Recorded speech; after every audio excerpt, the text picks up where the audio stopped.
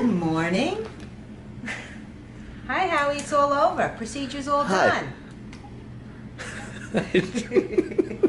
You're looking at comedian Howie Mandel groggy and out of it after endoscopy surgery. Wonderful. The video was taken by his son Alex.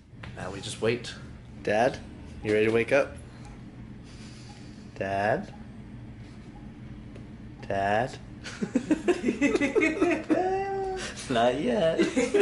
As he recovers, Mandel talks about his kids. Oh man, I have the best kids. Slowly but surely, he comes to and jokes about his jewelry. Somebody just steal my necklace.